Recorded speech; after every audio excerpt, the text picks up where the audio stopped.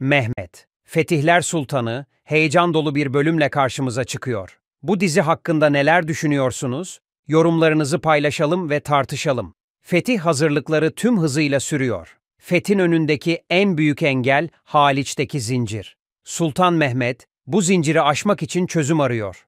Bu meselede en büyük desteği Çandarlı Paşa'dan alacak. Bizans, ardı ardına aldığı darbelerle büyük bir korkuya kapılıyor.